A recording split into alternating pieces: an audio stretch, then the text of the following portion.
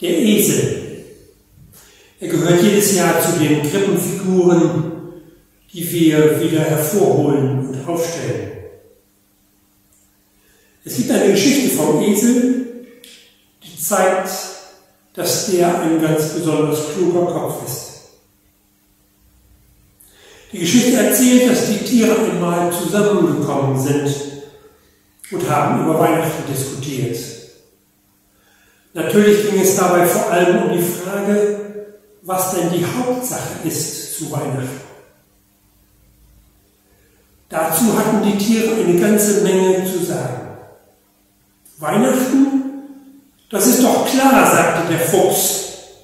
Das wichtigste Weihnachten ist doch der Gänsebraten.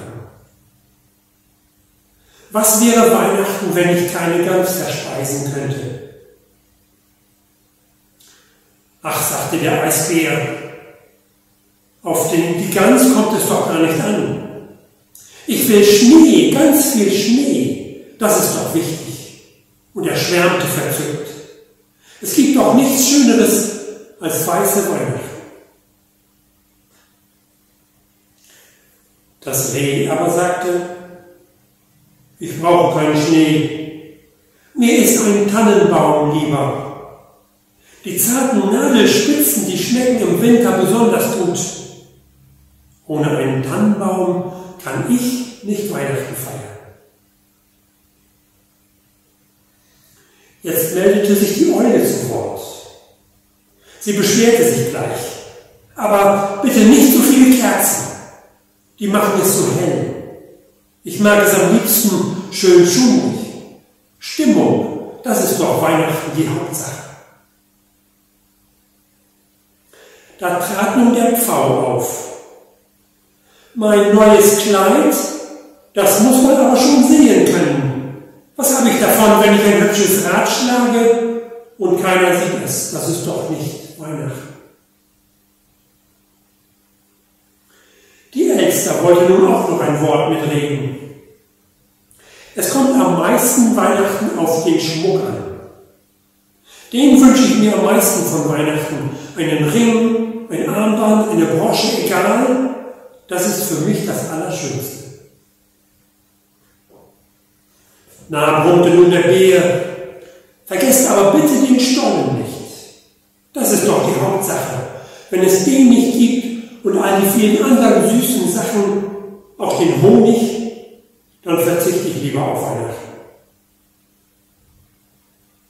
Oh, sagte nun der Dachs, mach's doch einfach wie. Ich penne über Weihnachten. Ich will so richtig tief schlafen. Etwas Schöneres kann ich mir nicht vorstellen.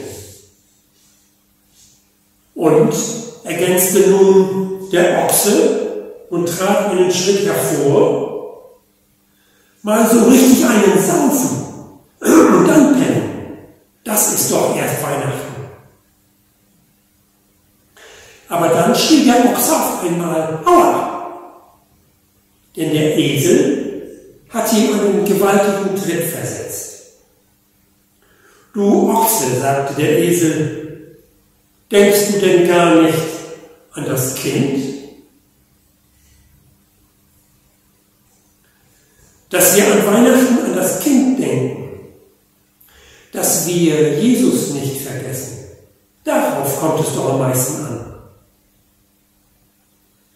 Da senkte der Ochse beschämt den Kopf, denn er musste dem Esel natürlich recht geben.